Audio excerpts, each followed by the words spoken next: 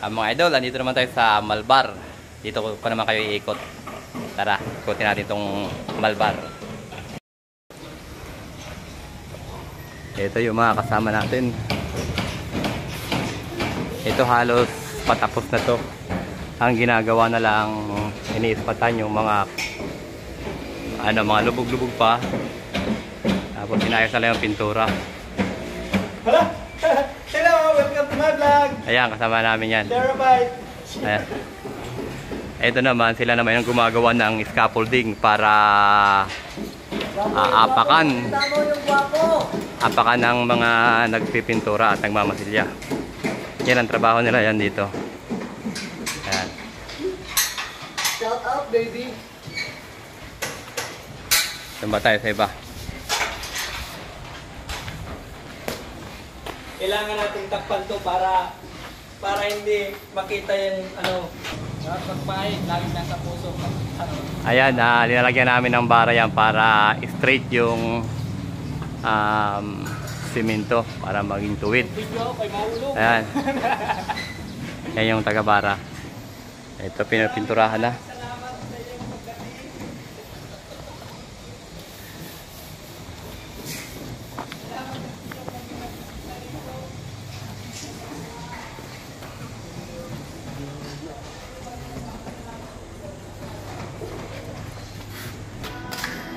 Ayan.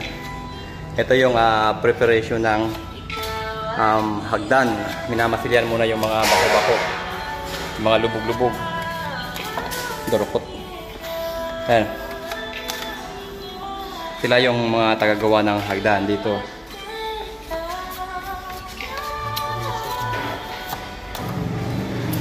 Ayan, yan yung first step ng preparation ng hagdan na mamasilyan muna na fully.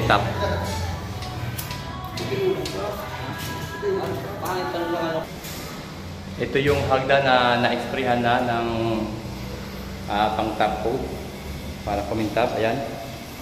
Ah, halos patapos na to. Na hagdan na to.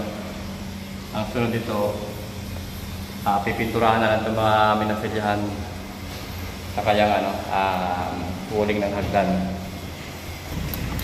Ayan sila naman yung taga-masilya ng wuling. Yung trabaho nila, taga-masilya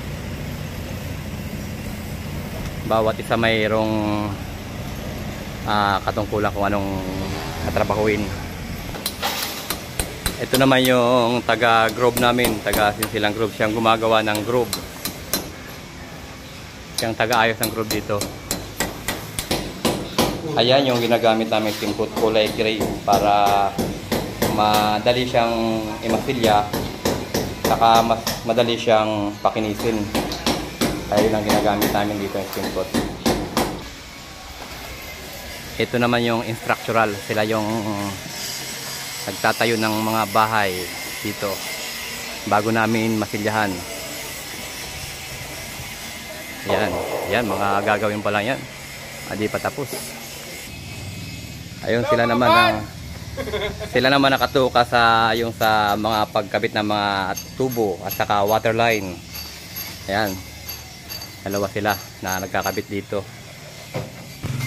Ayan, mga kasama din natin yan, nagmamasilya. Ito yung halos patapos na na unit. Nasa 90% ah, patapos na to. May pintura na. ah, labas. Pati sa loob. Ayan, ito tayo sa loob. Ito yung loob niya. Tiles. Tapos yung hagdan na lang yung pipinturahan dito. Saka mga ano na lang ng electrical. Ayun halos tapos na ang unit na to. Ito. Mayroon siyang tatlong kwarto sa taas.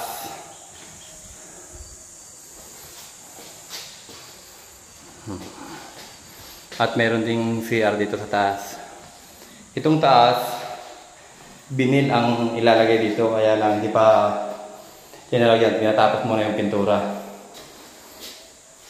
ito pipinturahan pa yan na pinto sa kayong hamba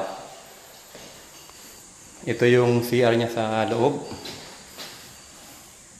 ayun wala pang ceiling Kakabitan pa yan. At pipinturahan. Saka yung toilet niya. Hindi pa kinakabit. Dito may lababo siya. Saka dito si Ad. Ganun din. ah, wala pang ceiling yan. Kakabitan pa. Saka ito yung katabi niya. Malawak niya likod nito. Yun, meron ding nakabang na lababo sa labas. Ayun, ito yung finish ng hagdan natin.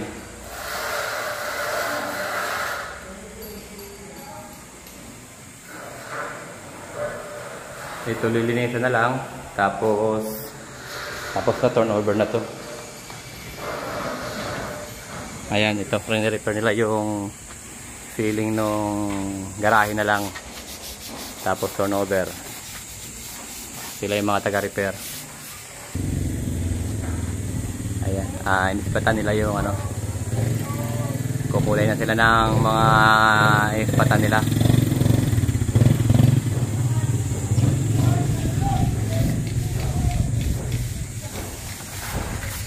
Ayun.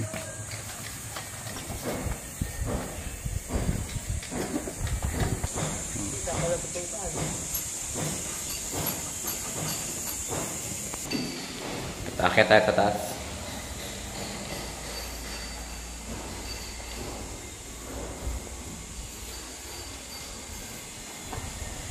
Ito naman ibang unit to kaysa doon sa kanina. Ito meron tong terrace sa taas, may balkonahe. Ayan, malawak yung balko niya rito. Hmm.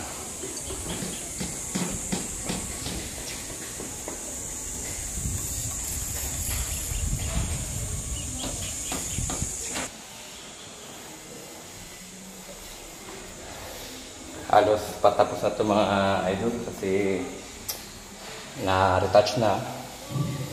Ayan yan. Yung kulang na lang yung tiles ng lababo. Yan yung CR niya.